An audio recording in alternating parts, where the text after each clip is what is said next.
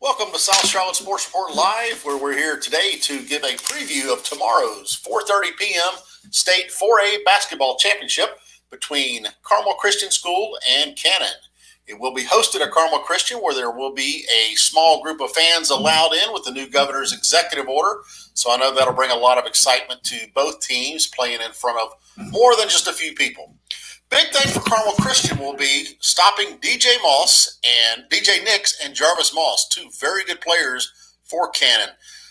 Moss is a Stanford signee and just one heck of a player. And they also have Christian Reeves, a big seven footer, and a really big cast of uh, supporting crew for Cannon. And they are the defending state championship in the 4A division.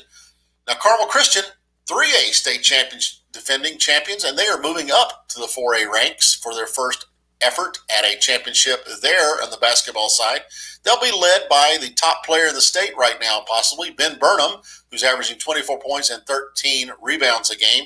Cade Tyson comes in at 15 and 4, and Justin Taylor is averaging 14 points and 5 assists a game. They've got a well rounded group behind them, including a Glenn Bynum, Kyle Bean, a couple other really good ball players that are playing very well for Carmel Christian right now.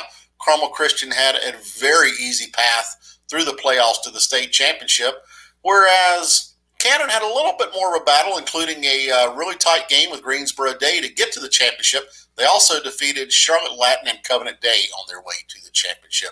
Really expecting a very exciting game. The key will be for both teams stop the other team's best player. You cannot let Ben Burnham get uh, rolling and flowing into the action of the game, and, and vice versa. You can't let Jarvis Moss get going for Cannon. So we're expecting a very exciting game.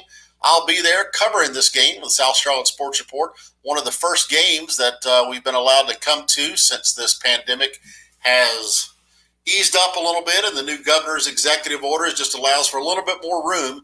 Never felt like I should show up and take a key seat away from a parent. So, uh, we stayed away pretty much until then for the outside inside events, but hey, we're ready to be back, ready to cover an exciting game, and I'll have updates throughout the day beginning tomorrow at 4:30 on South Charlotte Sports Report.